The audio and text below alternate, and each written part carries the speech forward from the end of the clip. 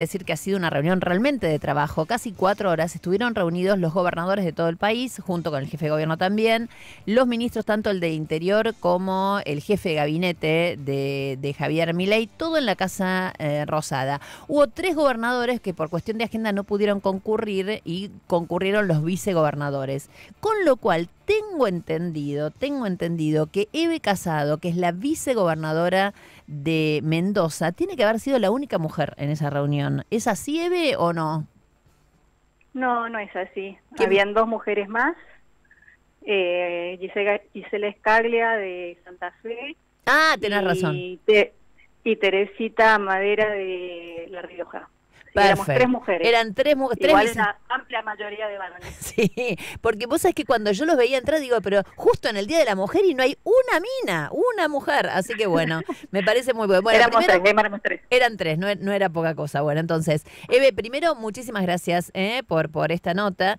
Eh, obviamente, lo primero que quiero preguntarte es el, el, hecho de que fue tan larga, ¿realmente fue productiva? ¿Fue una reunión en donde pudieron, digamos así, avanzar o hasta ahora solo enunciaron los temas? No, fue, fue productiva en el sentido de que estaban las 24 provincias representadas y, representadas y eso significaba el interés que generaba la reunión. Claro. Eh, por otro lado, productiva porque, bueno, cada una de las provincias pudo explayarse en las posiciones respecto a los puntos que nos iban presentando eh, Nicolás Pose y Guillermo Franco. Y, y, productiva también porque, bueno, cada una de las provincias también pudo manifestar las dificultades y las posiciones eh, particulares de cada provincia. Obviamente, eh, eso, eso desde ya. Y de la, de la cuestión inicial, en donde había varias dudas respecto justamente a si esto iba a ser un toma y daca, etcétera. Digo, del, para decirlo rápido, del estilo y la manera en la cual Gabriel, en, la cual Javier Milei planteó esta reunión, a lo que sucedió ahí, este, fue mejor, peor. No, la verdad que fue bastante amena. Eh, Mm, eh, se dio voluntad de, eh, de charlar los temas, de acordarlos y de llegar eh, a, buen puerto en el próximo en los próximos meses. Lo ideal que plantearon era llegar el 25 de mayo al pacto que había enunciado Javier Milei en, en su discurso de marzo y bueno, creo que, fue orientado en eso y, la disponibilidad para seguir teniendo otras reuniones más acotadas por regiones del país y también con los con los ministros de Hacienda o Economía de cada una de las provincias.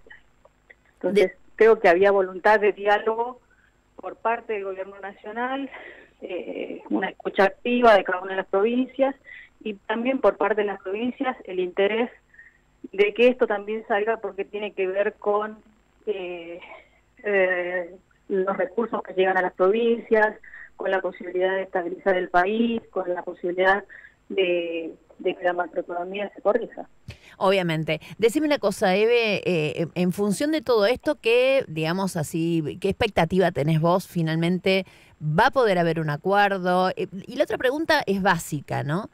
Eh, viste que el gobierno había planteado, eh, o el, propio presidente, eh, bueno, quiero que hagan, que vaya la reforma, o, mejor dicho, la ley madre, esta, la ley ómnibus, que vuelva al Congreso y si, si nos ponemos de acuerdo con los gobernadores, podemos tener un alivio fiscal para las provincias. Esta fue más o menos la construcción que él hizo sobre la presentación de esto, que después iba a terminar en el pacto este del 25 de mayo, etcétera. Vamos a lo previo. ¿Qué capacidad tienen ustedes o cuánta, digamos, cuánta injerencia puede tener un gobernador y en tu caso una vicegobernadora en los votos de los diputados y de los senadores provinciales? La verdad que eso es bastante variable eh, y depende de los puntos y de la ideología de cada uno de los legisladores. Eh, uno puede tener mayor injerencia por ahí sobre los senadores, pero no así sobre los diputados. O sea, el, número de, senadores es, diferente y más votado y entonces eh, uno puede tener mayor injerencia, pero no así de los diputados. Eh, por ahí hay provincias que tienen una gran divergencia ideológica. Interna, claro. Entonces, entonces ahí, ahí es donde por ahí los gobernadores no tienen tanta disponibilidad de decir voten esto o voten lo otro. Pero Eve, la otra pregunta que te hago yo es lo siguiente, ¿no? Porque digo, si estamos en un sistema republicano como el que se supone que vivimos, eh, tampoco sería lógico que los gobernadores sean dueños, entre comillas, de, los votos ni de diputados ni de senadores. O sea, uno puede hacer una sugerencia. es que no lo son, justamente no lo son, y por eso es que eh, no, no, no determina la, elección totalmente. Pero por eso, en esa reunión, ¿pudieron de alguna manera explicarle, porque parece que hay cosas que no terminan de entender, al gobierno nacional, que ustedes no pueden ser la garantía de que esas leyes salgan en el Congreso? O sea, ellos quieren una nueva, de, ellos, digamos, ofrecieron, bueno, eh, vamos a... Empezaron intentando que sea en el Congreso que lograr la ley ómnibus. No lo lograron y ahora van por los gobernadores. En la mesa de trabajo. Lo que yo entendí eh, es que van a haber reuniones con diferentes ámbitos, o sea, por un lado con los gobernadores, por otro lado con los ministros de Economía o Hacienda de cada una de las provincias y además después en grupos con los, con los legisladores también. Ah. ellos entienden, o yo creo que ya entendieron que eh, tienen que llegar a los consensos con todos. Exactamente, eso, eso queda claro. De todas las, las eh, ideas que hubo, porque sé que hablaron todos, como bien vos decís, eh, respecto a justamente este alivio fiscal, ¿se habló concretamente de la posibilidad de que esos ATN, lo que le daban antes, ¿no? que son este, los adelantos del Tesoro, que se dan discrecionalmente, porque los da el ministro de Economía a quien quiere, o el gobierno nacional a quien quiere, o lo que fuera, que esto fuera parte de la coparticipación? No, lo, que se habló es eh, hacer una, una coparticipación más equitativa de los impuestos, es lo que planteamos nosotros como provincia, eh, porque nosotros durante los cuatro años anteriores o del gobierno anterior, la verdad que esos aportes discrecionales no recibimos ni, ni, el olor, nada. Eh, entonces, a nosotros la verdad que lo discrecional nos interesa, nos interesa lo que sea justo y equitativo.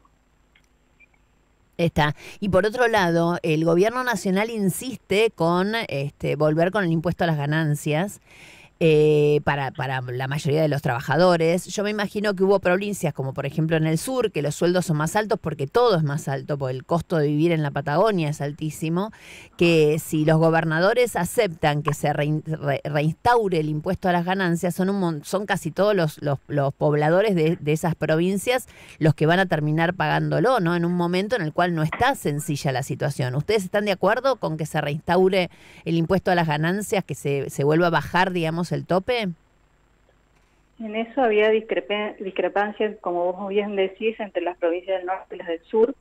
Las del sur habían tenido una reunión previa a esta reunión y ya habían fijado una posición respecto al impuesto a las ganancias y ellas eh, no querían que se reintegrara porque obviamente abarca a la gran mayoría de su población. Los sueldos en el sur son la mayoría eh, por sobre el monto que, que abarcaría ganancias. Claro, y hay otras provincias que, bueno, que sí les convenía, como las del norte, que eh, el no recibir ese impuesto les hace bastante daño. Claro, no, no recibir esa plata. La posibilidad de que les coparticipen parte del impuesto al cheque, digamos, o otro tipo de impuestos que no sea reinstaurar el impuesto a las ganancias, eh, no, se, no se charló.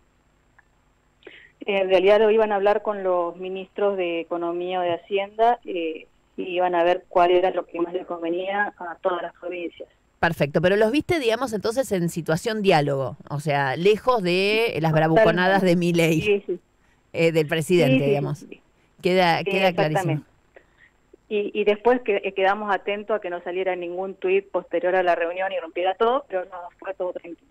Mira, o sea, para, para, para, ¿qué quedaron? Quedaron todos. Me encanta, me encanta, Eve, sos, sos de las mías. Me gusta, me gusta porque me estás haciendo una crónica perfecta. Todos habían quedado en que ninguno se adelantara a un tuit. No, no, no, no. En realidad eh, quedamos pendientes que después de, una charla tan amena y una reunión tan amena entre todos, eh, después no saliera Javier Milei y, con un tweet y, rompiera todo de vuelta. Pero ¡Ah! eso no pasó.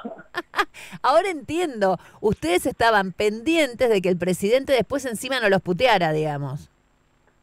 Claro, claro, con, claro, con un tuit intempestivo. O sea, el que cumplió es el presidente, en no putearlos Sí, un rato. sí, ah, me encantó, me encantó, Ya, impresionante. una- ya- ya es un gran avance. ya Bueno, ya es un gran. Me encanta, me encanta, tenés razón. Es un gran avance que el presidente no los putee por tweet después de una reunión contra- de trabajo. Eso es un montón. Eve, muchísimas, muchísimas gracias. Y, y el año que viene, a ver si por primera vez en mi vida me invitan a la fiesta de la vendimia. Che, mirá, le tiro el mangazo a la vicegobernadora. Por supuesto. ¿Por qué la- no has venido todavía? Por no sé, porque no me quieren los mendocinos, no sé, cuando no sé qué pasa. Mirá que el gobernador lo conozco y todo, pero no tengo idea. Pero siempre me acuerdo de la fiesta de la vendimia cuando ya pasó. Y la verdad que he ido a tantas fiestas en todos, bueno, no sé. En febrero, en febrero danos una llamadita. y- Da, y- claro, así te aviso, así te aviso y transmitimos desde allá. Muchísimas gracias. eh. Eve Casado, la vicegobernadora de Mendoza. Tus tardes tienen el ritmo que buscaba.